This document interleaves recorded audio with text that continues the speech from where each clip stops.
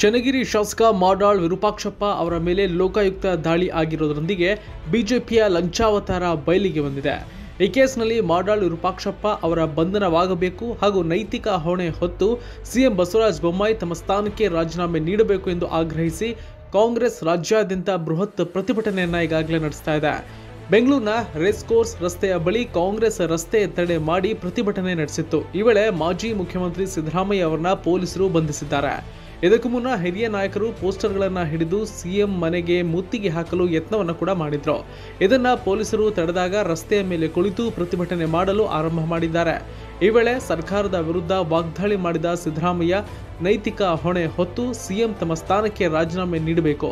ಮಾಡಾಳ್ ವಿರೂಪಾಕ್ಷಪ್ಪ ಅವರನ್ನ ಬಂಧಿಸಬೇಕು ಎಂದು ಹೇಳಿದ್ರು. ಈ ವೇಳೆ ಕೇಂದ್ರ ಗೃಹ ಸಚಿವ ಅಮಿತ್ ಶಾ ವಿರುದ್ಧವೂ ಸಾಕಷ್ಟು ಹರಿಹಾಯ್ದ್ರು.